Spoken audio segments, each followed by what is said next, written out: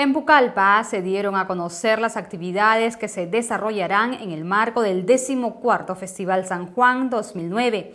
En esta edición destacan los concursos de indígenas amazónicos y la feria organizada por las regiones de Huánuco, Ancash y Ucayali.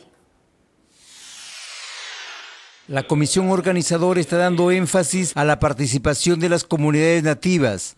Por ello, por primera vez se realizará un concurso de danzas típicas originarias entre las distintas etnias de Ucayali. También se realizarán competencias deportivas como motocross, motonáutica, así como fútbol entre indígenas. Para captar a los turistas se llevarán a cabo pasacalles, concursos de danzas y teatro ucayalino, los cuales tendrán premios entre 3 y 2 mil dólares para los ganadores. Asimismo, se promoverá el ritual de la ayahuasca entre todos los visitantes. Si nos unimos, sector público, gobierno regional, DIRCETUR, Municipalidad de Harina, Municipalidad de Coronel Portillo y Manantay, más el sector privado, les aseguro que dentro de un año o dos años Pucallpa va a recibir más turistas nacionales y extranjeros. De eso sí les aseguro. Estas actividades se desarrollarán desde el 15 hasta el 24 de junio, día central en que la población se vuelca a las orillas del río Ucayali bajo la creencia que si se bañan, el patrono San Juan les dará su bendición y les irá muy bien todo el año. Pucallpa se convierte en un destino turístico.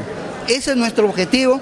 Además, otro objetivo es aumentar el arribo de nacionales y extranjeros a Pucallpa un 30 o 40% en dos años.